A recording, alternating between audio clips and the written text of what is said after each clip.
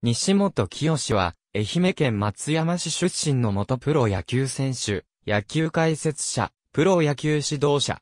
江川卓と共に、エースとして、巨人の一位時代を築き、巨人退団後は中日、オリックスでもプレーした。選手生活晩年に、巨人へ復帰して引退。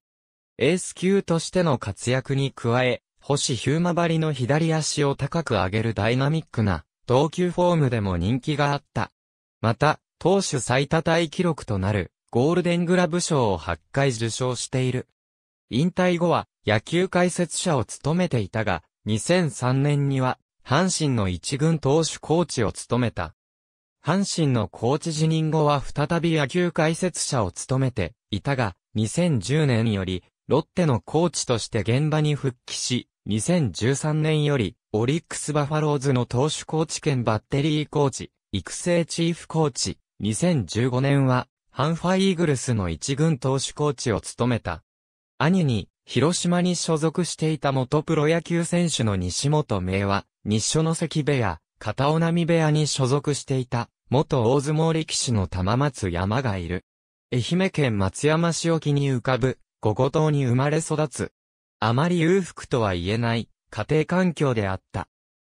甲子園で名を馳せた実刑の西本明和は本来、早稲田大学で6大学野球に出場するつもりであったが、急遽広島東洋カープに入団し、プロ野球選手として家計を支え、まだ小学生だった聖の面倒を見た。生を自分の手元に置いて野球をさせたいと瀬戸内海を挟んだ広島省へ入学させるつもりでほぼ決まりかけていたが、末っ子の広島省入りを、父が猛反対し、地元の松山省に入れた。広島省に入っていれば一年上が、達川光浦で、甲子園で、江川卓と投げ合っていた可能性もあったと言われていた。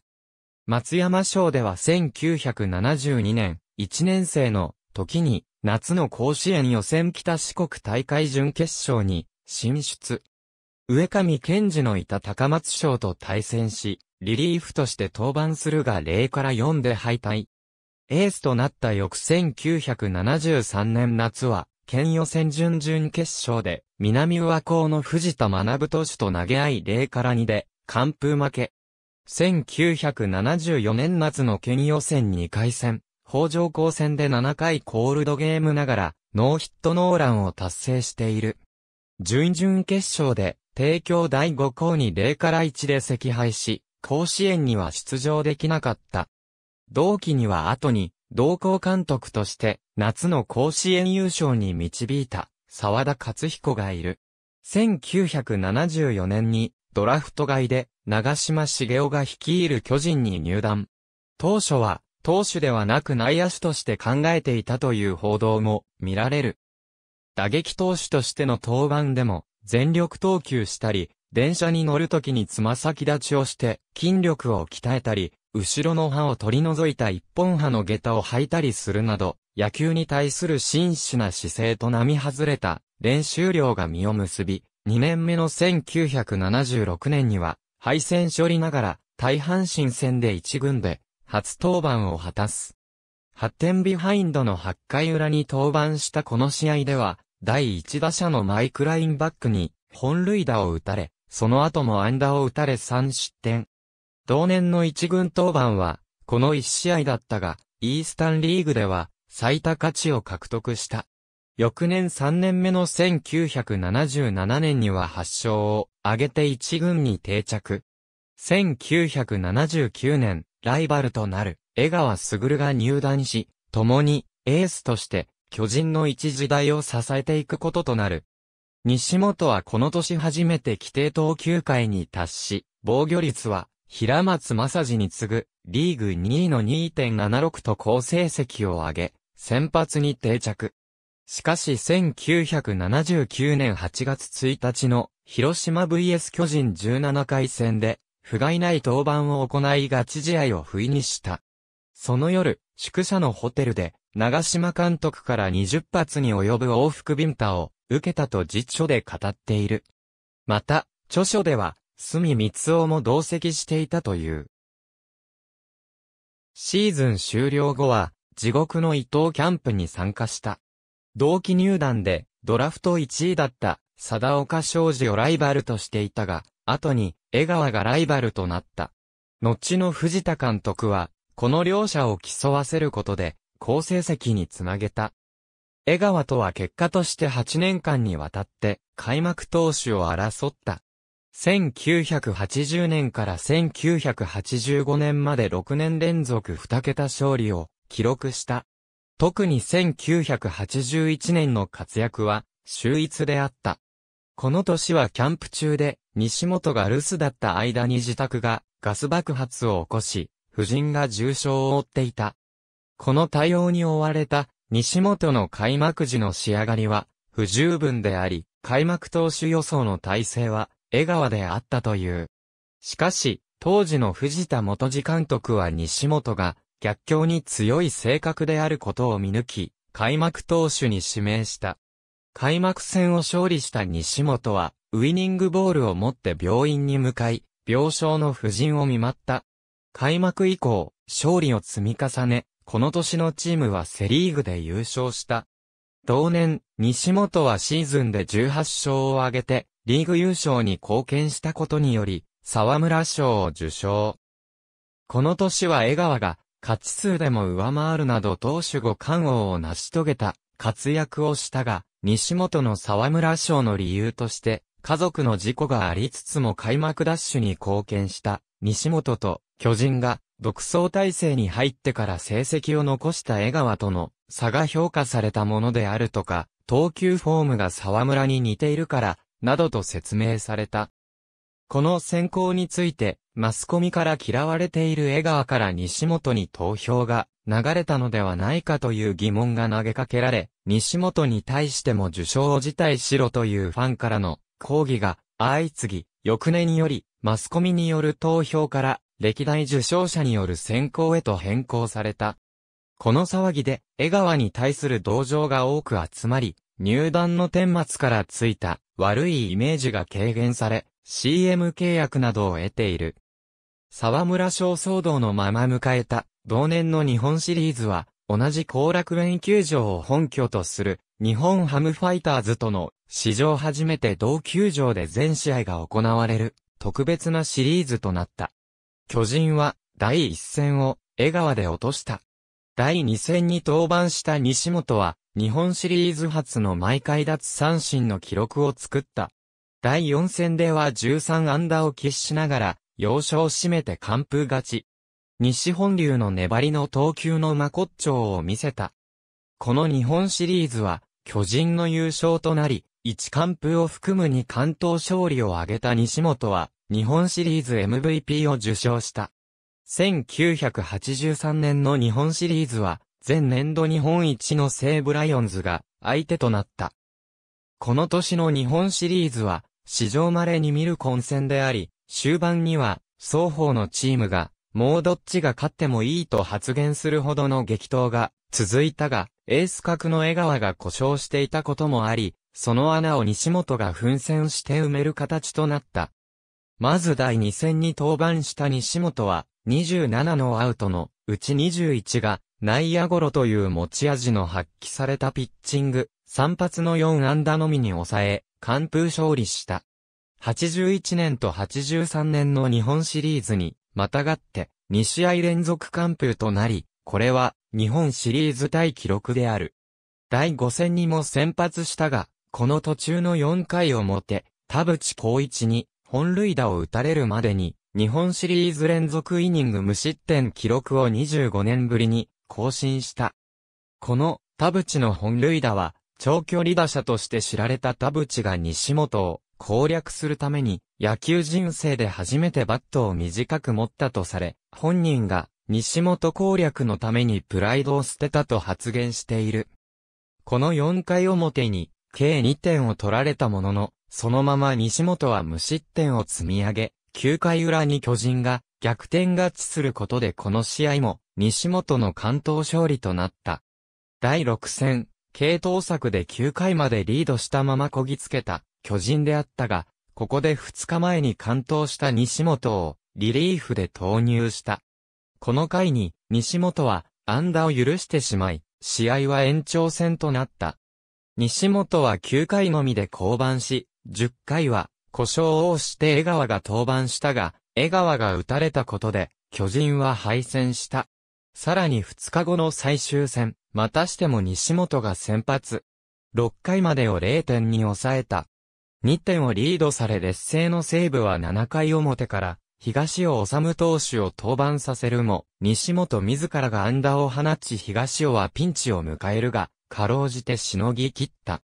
7回裏、さすがに、疲れの見え始めて、投球に勢いがなくなりつつあった西本を、西武打線が捉えた。3点を奪われ逆転を許すも、かろうじてこの回を投げ切り、西本はマウンドを降りた。試合は、ライオンズの勝利となった。巨人は、日本一を逃したが、西本は、第2戦、第5戦の関東勝利で、シリーズ関東賞を獲得した。日本シリーズでの西本の成績は素晴らしく、81年と83年の日本シリーズ2試合連続完封、連続イニング無失点記録があるほか、シュートを武器に内野ゴロの山を築いていった西本らしく、内野ゴロ補殺数など多数ある。1986年は投手コーチの皆川睦夫との確執があり、不審に終わった。西本には球団批判で200万円の罰金が課された。球団は二人を和解させようとして、オフに和解ゴルフをさせたがマスコミには、茶番劇と書かれるなど、二人のギクシャクした関係はとても和解したとは言い難かった。1987年4月10日に、後楽園球場で行われた中日ドラゴンズとの開幕戦で、開幕投手として先発し、この年にロッテオリオンズから移籍してきた中日の4番、落合博光との対戦で、西本は落合に対し全打席全球シュートを投げた。その結果、1本だけはセンター前にヒットを打たれたものの、4打数1安打と封じ込め、自身も完封勝利を収めた。パリーグで三冠王だと言ってもここは、セリーグ、パリーグとは違う、というセリーグの投手としてのプライドがあったからだと言われている。また、全球シュートは、研究に研究を重ねてたどり着いたのではなく、当日のマウンドで落合と向かい合った時にひらめいたという。なお、落合は、この年無間に終わっている。これには、西本は、もし、江川投手が開幕投手だったら、江川さんは、僕みたいに偏ったピッチングはしないので、他チームの投手は、江川さんの攻め方を参考にしたはず。僕の攻め方があったからこそ、落合さんは無冠に終わったんだろう。と語っている。また、この時に、中日の監督だった、星野千一は、この際のピッチングを見て、いつか、西本を獲得しようと決意し、2年後にトレードを実現させた。1987年にライバル江川が引退し、翌1988年は4勝に終わると、この年を最後に、巨人生え抜きの西本は球団を去ることとなる。同時に、皆川睦夫もコーチを解任された。同年12月5日に、中尾隆義との交換トレードで、鴨川茂春と共に、中日に移籍することが発表された。移籍1年目の1989年に20勝、勝率769で最多勝ちのタイトルを、斎藤正樹と共に獲得。翌90年も11勝を挙げたが、1991年は、椎間板ヘルニアのために低迷。手術を受け、1992年は1勝11敗の成績で、戦力外通告を受けて、自由契約となった。巨人時代の先輩でもあり、西本の理解者だった土井正蔵が監督をしていたオリックスブルーウェーブへ、同年11月24日に移籍した。翌93年に先発で5勝を挙げるも、契約交渉が決裂して1993年12月16日、再び自由契約となり、わずか1シーズンで退団する。3月1日に入団テストを経て巨人に復帰したものの、当時投手コーチの堀内恒夫が復帰に猛反発したことが影響し、オープン戦でも一度しかチャンスを与えてもらえず、ペナントレースでは一軍登板はなく、同年10月13日に引退を表明した。東京スポーツの運動部デスク、溝の口拓也によると堀内だけが、西本なんていらねえと言っていたという。当初はシーズン中の引退試合も検討されたが、チームが最終戦まで中日と優勝争いを繰り広げたために見送られ、シーズンオフの1995年1月21日に入団以来のライバルで親友でもある、貞岡昌司が西本担当の若手記者たちと企画、玉川グラウンドで引退試合が行われた。貞岡は自分の仲間を集めて、サダーズを結成し、西本と対戦、西本チームには彼を師匠と慕う、桑田真澄、山本正宏、中村武史、立浪和義、平井聖史といった彼が所属した球団にいた選手たちが集まった。試合には当時の監督の長島茂雄も始球式のために駆けつけたが、最終回に急遽代打として登場。1975年の入団時と1994年の復帰時のいずれも監督を務めていた長島と対決し、20年にわたるプロ生活を終えた。2012年7月8日、千葉マリンスタジアムにて1994年1995年の2002年、及び2004年から2009年に文化放送の野球解説者や日刊スポーツの野球評論家を歴任。フジテレビのプロ野球中継にもスポット契約で出演していた。2002年10月21日阪神の一軍、投手コーチに就任し、2003年シーズンはブルペンを担当した。チームはこの年に18年振りのリーグ優勝を果たしたが、一軍監督、星野千一の優待を機に、自身も同年10月31日に退団した。2009年10月27日に千葉ロッテマリーンズの一軍投手権、バッテリーチーフコーチへ就任。12月7日には、野球殿堂入り候補者名簿、プレイヤー部門に掲載される。2011年には、成本俊秀と入れ替わる格好で、二軍投手コーチに移動。2012年に一軍投手コーチへ復帰したが、10月15日付で、来期の契約しないと通告された。セスグライシンガーは、西本と二人三脚で軸足にためを作るフォームを、固め2010年から2年間一勝だったが2012年は、チーム最多タイの12勝と復活し、グライシンガーは、自分が再生できたのは、西本さんのおかげ。あれほどのコーチはいないと慕われ、同年新人のシーズン最多登板記録を作った、増田直也も、毎日、新しいことを教えてもらった。知識で打者を打ち取れるようになったと述べていた。2013年10月30日、オリックスバファローズの一軍投手兼バッテリーコーチに就任。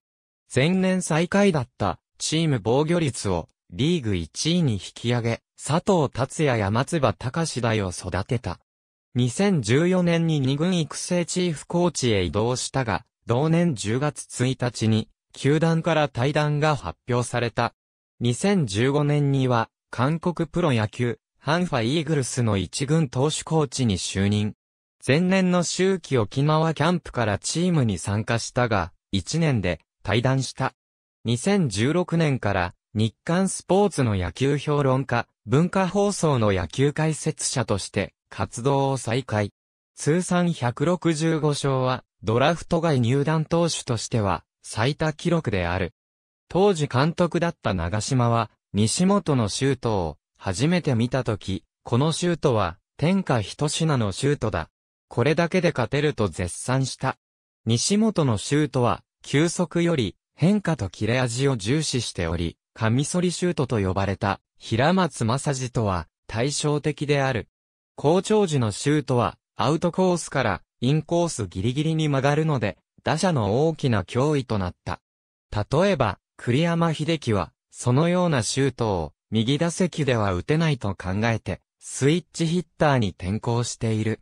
他チームの指導者は、右打者に対し、西本が真ん中から中寄りに投げてきたら、絶対に振るなと指導していた。芯を外す投球に長けた、グラウンドボールピッチャーだった。初期の頃はシュートと直球と、稀にカーブを投げる投球スタイルだったが、球威の衰えた後年は、シュートやカーブ以外に、スライダーやシンカーを駆使して若い頃以上にゴロを打たせるスタイルに変更している。スポーツライター宇佐美哲也の著書によると、1981年は、ゴロアウト406に対して、飛球アウトは198で、5、AO は2.05を記録している。1980年7月25日の試合では12、安打をされながら、2失点の関東勝利を収めている。5併殺を打たせて、ピンチを乗り切った。飛球2つ、三振2つ以外はすべてゴロによるアウトで、巨人の内野手は1試合22補殺の記録を作った。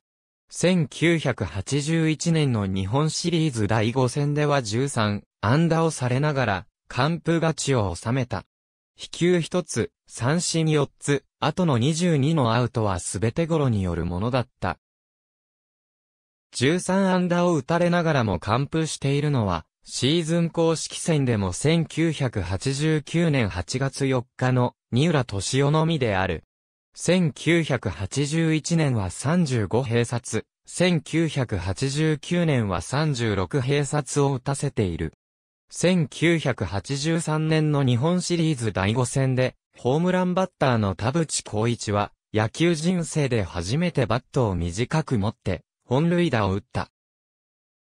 試合後に、田淵は、あのシュートを攻略するためにプライドを捨てたと発言している。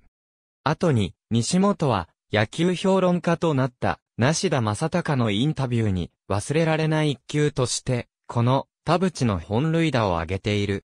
このシリーズで、西武は、第一戦で、江川の攻略に成功し、このシリーズはもらったと思った選手が多かったらしい。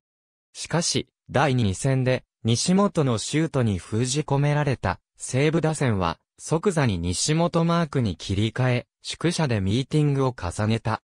それが功を奏し、降雨で1日順延となった第7戦、中1日で先発、高騰を続けていた7回裏、疲労からかシュートのキレが若干鈍った西本をとうとう攻略し、満塁からテリー・ウィットフィールドの走者一掃の二塁打で逆転に成功し、そのまま日本一に輝いた。このシリーズでの西本のシュートのキレが、後に語り継がれる、日本シリーズの名勝負を生んだ、とも言える。西本は、打撃も優れた選手であり、通算11本の本塁打を打っている。